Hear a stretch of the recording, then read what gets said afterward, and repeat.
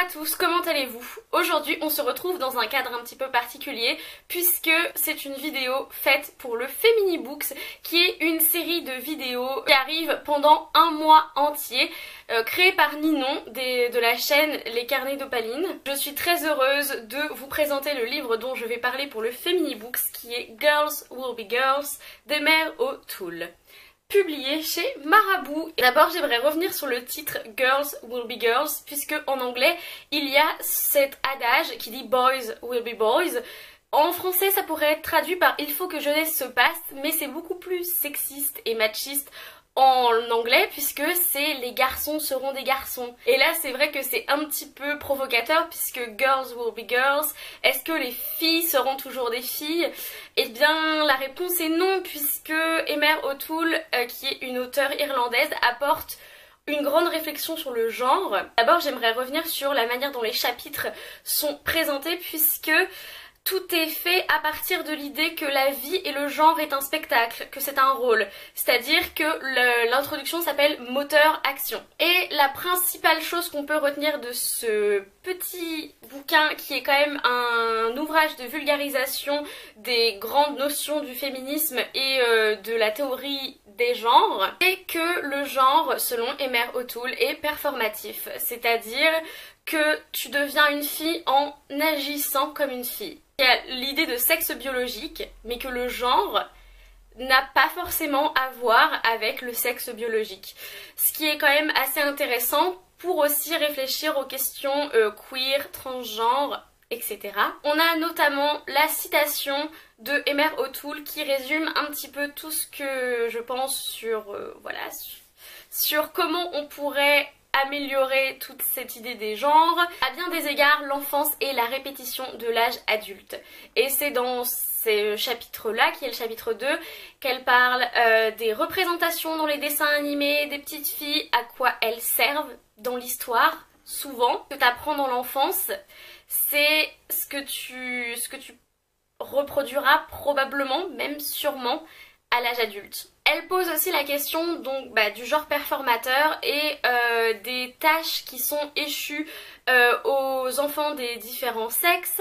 Par exemple, pourquoi elle, en tant que petite fille irlandaise, euh, aidait toujours sa maman, ses tantes, sa grand-mère dans la cuisine et que les hommes restaient toujours à table sans rien faire.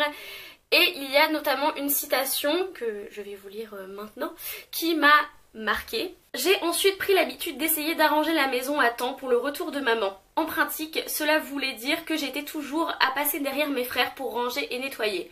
Or, vous m'auriez demandé à l'époque si je rangeais le désordre causé par mes frères parce que j'étais une fille, j'aurais répondu non, je le fais parce que je ne veux pas que maman se fâche quand elle rentrera à la maison. Pourtant, la certitude que c'était à moi de faire ce travail ne venait pas de nulle part, de la même manière que mes frères avaient bien appris quelque part qu'il était tout à fait normal pour eux de rester assis le cul sur une chaise. C'est un chapitre qui m'a particulièrement marqué puisque euh, j'ai fait de l'animation il y a quelques années et il y avait toujours ce problème de qu'est-ce qu'on autorise les filles à faire, qu'est-ce qu'on ne les autorise pas à faire et même chose pour les garçons. Et on se, là on se rend compte euh, si on pousse les raisonnements qu'il n'y a rien derrière. Par exemple, un petit garçon qui voulait participer à l'atelier beauté, qui voulait se mettre du vernis à ongles parce qu'il y a de la couleur et que c'est fun. Le petit garçon avait, avait 5 ou 6 ans, il n'avait pas encore intériorisé que le vernis c'est pour les filles. Du coup, est-ce qu'on autorise ce petit garçon? Eh bien non, puisqu'il y a des parents qui s'en sont plaints en disant que ce n'était pas normal. Et si on pose la question à la personne qui interdit, à la directrice de centre par exemple, si la maman du petit garçon qui veut du vernis vient la voir et dit mais pourquoi mon petit garçon il peut pas avoir de vernis C'est-à-dire que c'est comme pour une petite fille, voilà, tu joues avec, euh, puis tu l'enlèves après, il n'y a, a pas de souci. Et la réponse c'est la tradition, c'est-à-dire que c'est la tradition qu'une euh, petite fille peut jouer avec du vernis, mais pas un petit garçon. Certaines personnes trouveraient ça un petit peu bizarre et ce ne serait pas dans l'ordre naturel des choses, c'est-à-dire ce ne serait pas dans la norme. La société a défini des genres et il faut s'y conformer. Du coup, dans ce chapitre, on voit aussi que la plupart des petites filles euh, ont une baisse de confiance en elles suite à euh, avoir vu des dessins animés euh, de base, voilà, à la télé, comme les petits garçons noirs, les petits garçons asiatiques, etc. Le genre de discrimination pas très cool. Je sais pas si vous vous rappelez du dessin animé où il y avait un des trains. Et ben en fait le train, la tête du train était toujours masculine et les wagons étaient toujours féminins parce que tu ne peux pas être à la tête du train quand tu es une fille, même si maintenant ils ont changé parce qu'il y a eu la réflexion. Donc ça c'était vraiment l'un des chapitres qui m'a le plus intéressé, celui sur l'enfance et celui où on déconstruit tout ce qu'on apprend aux enfants qui après forgent les futurs adultes. Il y a pas mal d'idées pour éduquer vos gosses euh, de manière à ne pas forcément se baser sur le genre. Ça peut être intéressant. Donc euh, pareil, j'ai relevé une petite citation.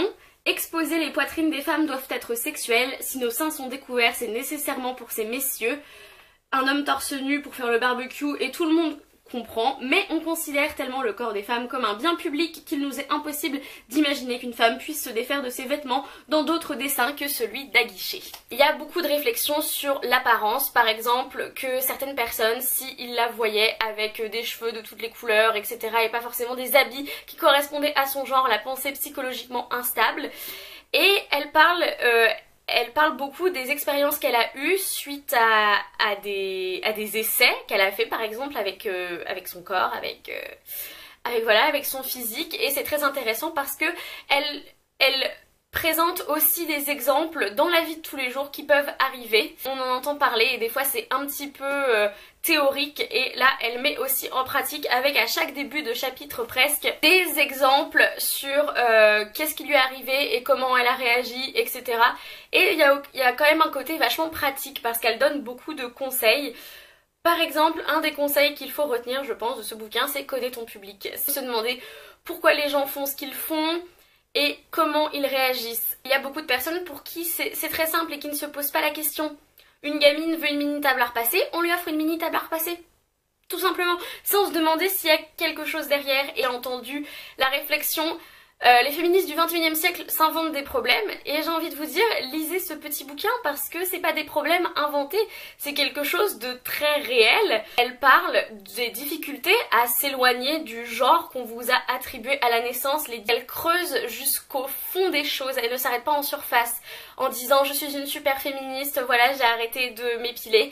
Elle dit j'ai arrêté de m'épiler, mais c'est dur parce que les gens sont là à te traiter par exemple de babouin, ce genre de choses et n'acceptent pas du tout, trouvent ça dégueulasse. Quand tu essayes de leur expliquer que euh, pourquoi les poils des femmes seraient, euh, seraient plus sales et moins hygiéniques que les poils des hommes, bah il n'y a pas de réponse derrière mais il y a quand même l'idée que tu es une emmerdeuse, que tu es une chieuse et que tu de bouger quelque chose qui est tellement ancré, qui est tellement stable dans euh, leur vie que c'est pas forcément agréable. La plupart des gens qui agissent comme ça, qui sont tellement à enfoncer les codes du genre, ne se disent pas chouette, on va aller renforcer le patriarcat. Il y a euh, toujours une balance à faire entre le choix et l'environnement. D'où vient ton envie de te faire refaire les nichons? Est-ce que si tu vivais dans une autre société, cette envie serait toujours là? Est-ce que euh, quelqu'un, une femme politique ne va pas se présenter à l'élection présidentielle parce qu'elle n'a pas envie d'être président?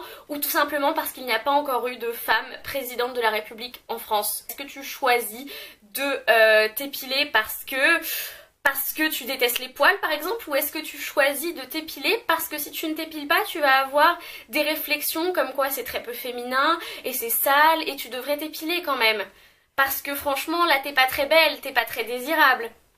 Il y a toujours euh, cette question et ces questions qui reviennent dans Girls Will Be Girls, qui contient vraiment tous les sujets possibles et inimaginables sur le genre et sur les clichés du genre, surtout sur les clichés sur la femme. Ça peut ouvrir euh, les yeux de certaines personnes, je pense. Moi, mes yeux étaient déjà plus ou moins ouverts. On va dire qu'ils étaient entre-ouverts, mais grâce à Girls Will Be Girls, c'est vrai que j'ai poussé ma réflexion encore plus loin. Prenez-vous euh, quelques heures pour découvrir ce petit ouvrage. Je parle pas seulement de féminisme, mais bien de genre et de réflexion sur le genre. J'ai eu l'impression que c'était extrêmement décousu. Pourtant, j'ai essayé de me structurer plus que d'habitude, mais je pars dans tous les sens. J'espère que je vous aurai donné envie d'approfondir les réflexions sur le genre grâce à la présentation que j'ai fait de Girls Will Be Girls d'Emer O'Toole.